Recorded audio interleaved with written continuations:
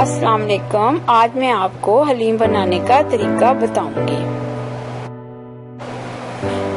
हलीम बनाने के लिए मैं ले रही हूँ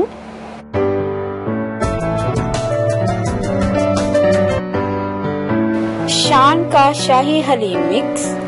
डब्बे में दो पैकेट होते हैं, एक दालों का और दूसरा पैकेट मसाले का। पैकेट के दालों के अलावा मैं इसमें डालूँगी आधा कप चनों की दाल, आधा कप मसूर की दाल, आधा कप चावलों का, और पौंड व्हील का गोश्त।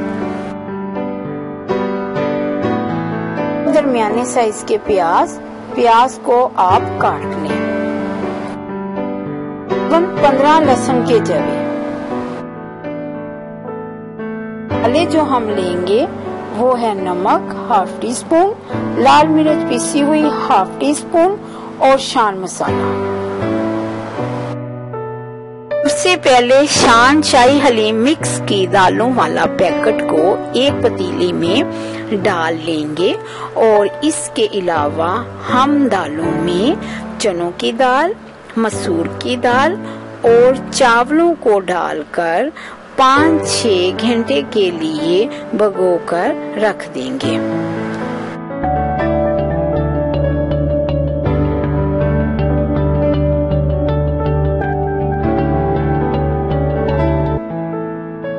पाँच छह घंटे के बाद दालों को उबालने के लिए रख दें।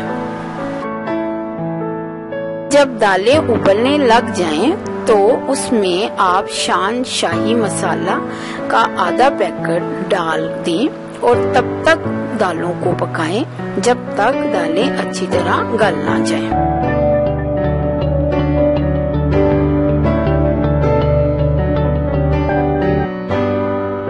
जब दालें गल जाएँ तो उसको अच्छी तरह बीट कर लें।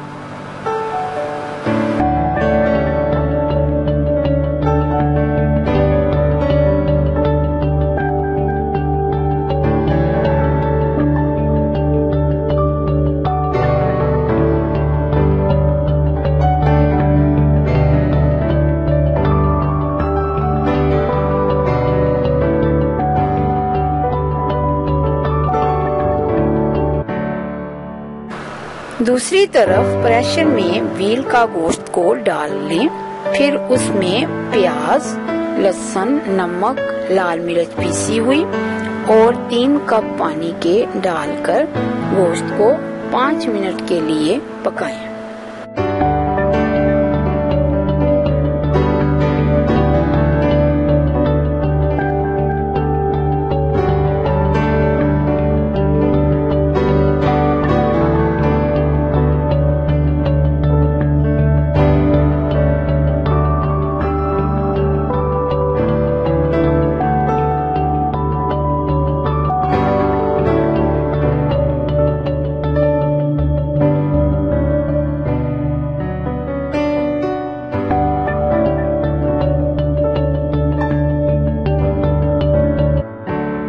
फिर इसमें हम आधा पैकेट शान शाही मसाला डालकर 10 मिनट के लिए प्रेशर को बंद कर देंगे।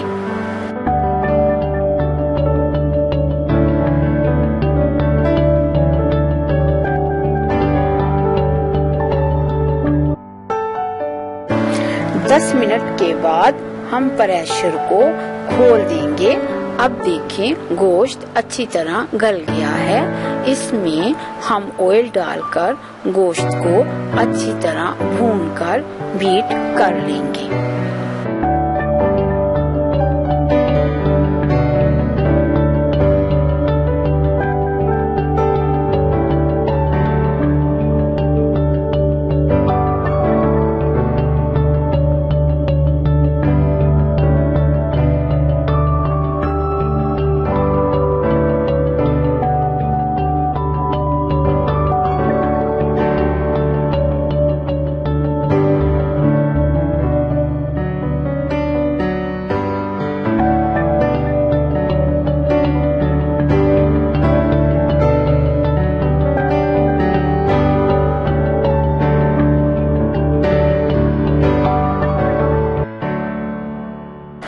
करने के बाद हम गोश्त को दाल में डालकर अच्छी तरह मिक्स कर लेंगे।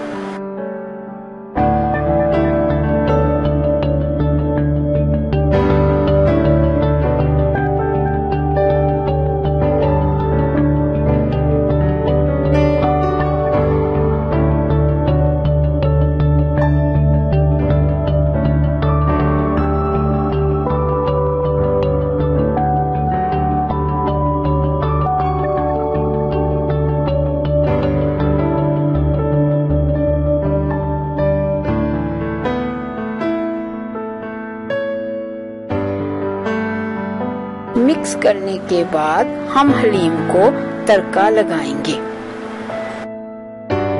एक फ्राई पैन में थोड़ा सा ऑयल और प्याज को डालकर प्याज को ब्राउन कर लेंगे। जब प्याज ब्राउन होता है तो उसको हलीम में डाल दें। अब हलीम तैयार है। अल्लाह हाफिज।